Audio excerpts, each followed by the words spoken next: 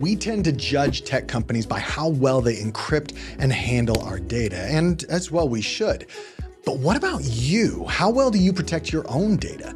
Today, I want to bring you through four levels of personal data encryption that begins with steps that all of us should be taking and then ends with some extreme but possibly useful forms of encryption you probably don't know about. Let's start with the basics. Before you consider encrypting files in the cloud or files that you're sending to other people, step one is to simply protect the data that you keep on your physical devices, known as full disk encryption. That way, if your laptop or phone gets stolen and somebody tries to direct access your hard drive, they won't be able to read any of the files without having your password to decrypt the data. You may have already set this up without realizing it, but it's worth checking again to be sure.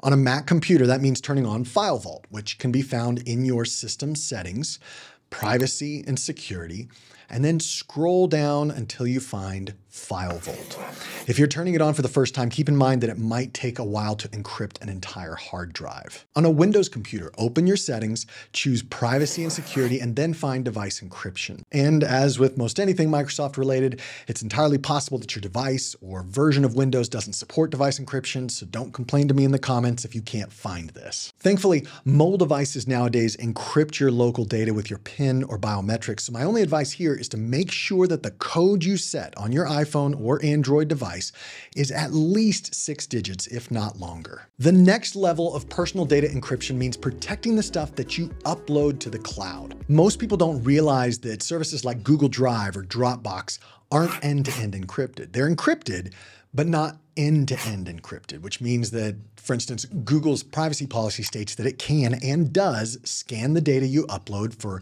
malware or illegal content. For a personal account, Dropbox secures your data, but keeps a key so that they have emergency access if needed. End-to-end -end encryption means that you and only you have access to the data you store elsewhere. This is like renting a bank security safe where only you have the key, and even though the safe is located within the bank, the bank employees can't open the safe if they wanted to. You might have also heard of this referred to as zero knowledge encryption. Services like Proton Drive, NordLocker, Sync.com, and others offer this kind of data encryption. And while this may not be as convenient as using Google or Apple Cloud services, it does offer stronger overall protection. What I do, for example, is keep all of my tax documents and previous tax returns safely stored in one of these standalone end-to-end encrypted cloud services. It isn't stored on my laptop or in my Google Drive, and I never, ever send these files via email. I only share access to the folders securely with my CPA.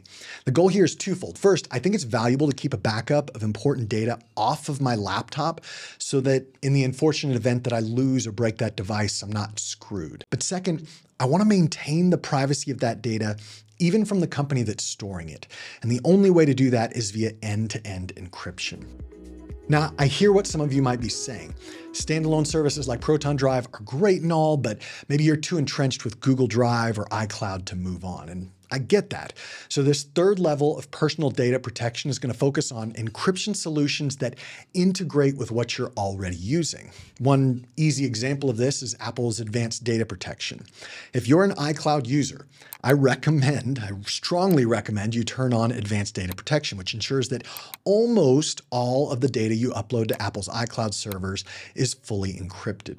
I've done an entire video explainer on how to do this here that you can watch next. But for most people I talk to, Google Drive and Dropbox are the places where you store the majority of your digital life. Say what you will about their privacy practices, it's hard to deny that they build great products that are super easy to use. Now, there are numerous solutions here, but I'm going to focus on two of them. The first is the equivalent of storing a safe inside of a safe. So, for example, if you think of Google Drive as a data safe where Google shares a key with you, Double encryption means only uploading encrypted files to that safe. So you're taking a locked safe and storing it inside of a safe. Does that make sense?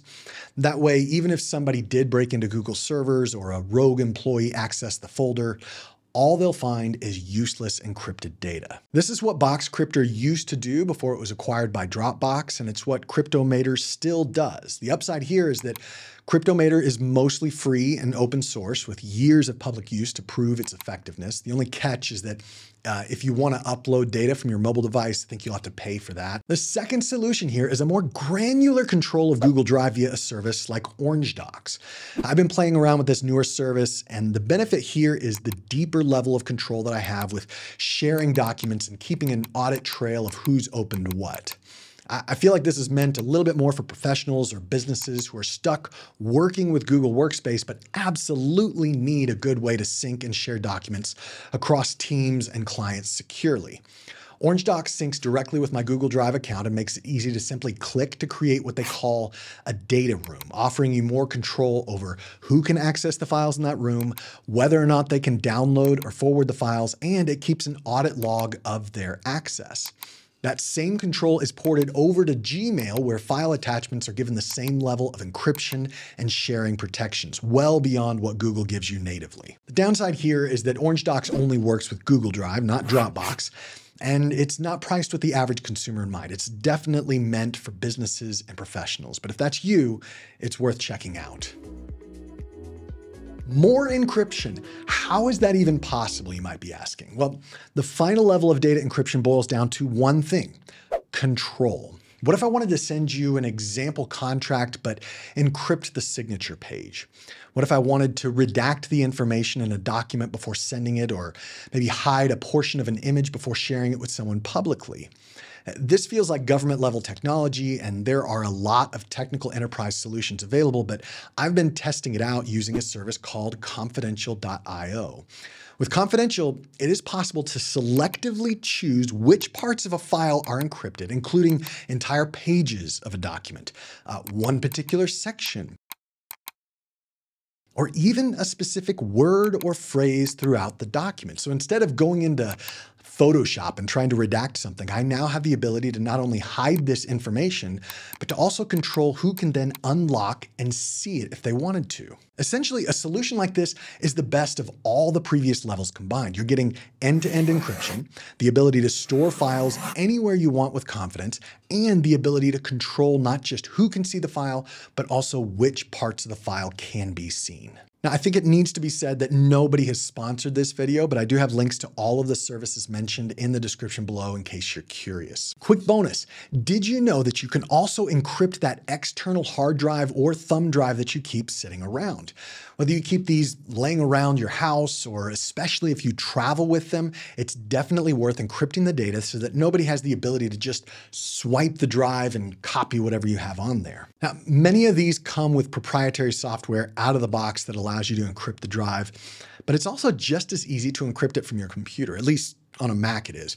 Find the drive in your Finder window, right click on that drive, and then find Encrypt. You'll be prompted to create a password and a password hint, and that's it. For those who use professional editions of Microsoft Windows, you can do the same thing with the native BitLocker tool. But if you're a home user, you'll have to try a third-party app like Veracrypt or whatever software came with the drive. Thanks for spending some time with me today.